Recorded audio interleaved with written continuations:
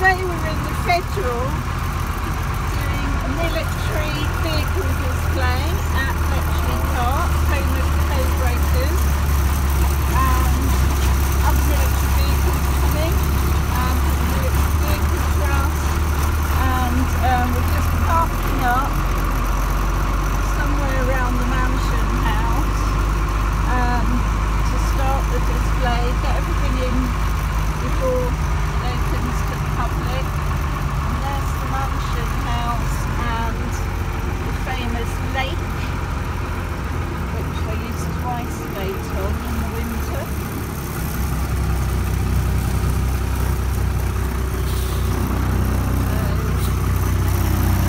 So, get parked up.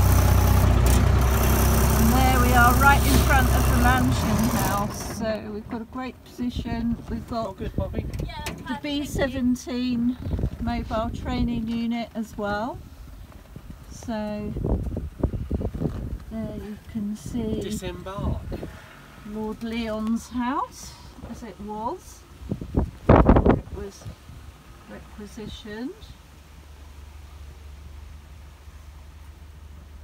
So Federal's done really well on the journey today. Great engine. And what a view I have from the cab.